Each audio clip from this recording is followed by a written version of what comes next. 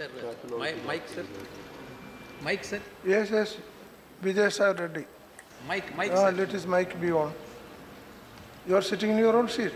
Yes, sir. Sitting in, ah, yes. Honorable Deputy Chairman, sir. I, on behalf of my party and my party President Sri Y.S. Jagan Mohan Reddy Garu, raised to support the bill primarily for two reasons. Point number one, first reason is, when Honorable Finance Minister has presented the economic survey report to the, this August House, has stated, categorically stated that this industry, apparel and foot, footwear industry, would generate half a million direct jobs every year, year after year. The secondly, it will increase the export. Both exports, export in the, uh, uh, increase the production as well as the exports. Sir, India, as you are aware, the India is uh, the second largest producer of footwear after China, accounting for 9% of the global annual production. Sir, in terms of value, the footwear sector is estimated uh, uh, at about 50,000 crores, out of which domestic market is about 32,000 crores and the export market is about 18,000 crores. Sir, uh, the point which I would like to bring it to the notice of uh, Honorable Minister Madam is, in China, this, is, this, this issue is relating to the employees and workers.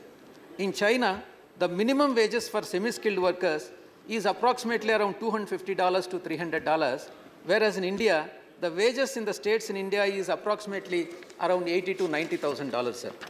Sir, uh, uh, in fact, we are supporting the bill, but three issues I would like to bring it to your, through you, to the Honorable uh, Minister, Madam, sir.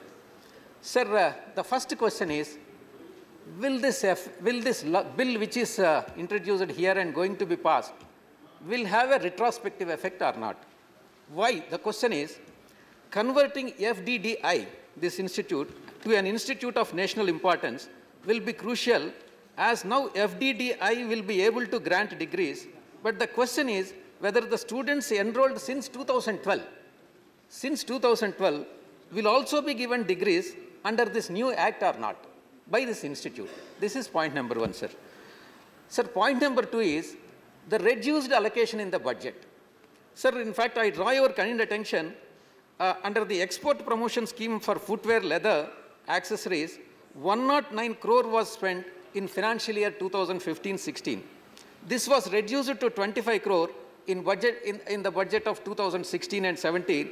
And the latest budget, what has been presented to this August House, it has been further reduced to 0.01 crore, sir, in 2017-18. I, I thought I should uh, bring it to the notice of the Honorable Minister uh, about the reduced allocation, sir. The third point which I would like to bring to your kind notice is need for FTA, particularly with European Union, USA, and UK.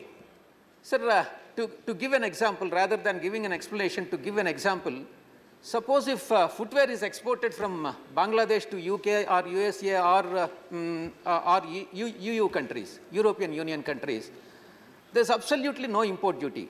Whereas, if footwear is exported from India to any of the EU, EU countries, European Union countries or UK or USA, there is an import duty of 4.4%.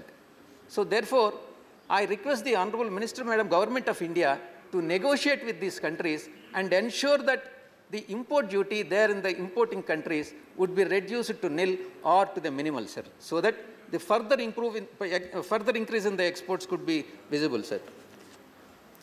Uh, uh, sir, uh, the final point which I would like to bring it to your notice is, sir, this bill, uh, of course, I mean, it has, uh, there are 12 campuses in this country, uh, none of which is in Andhra Pradesh.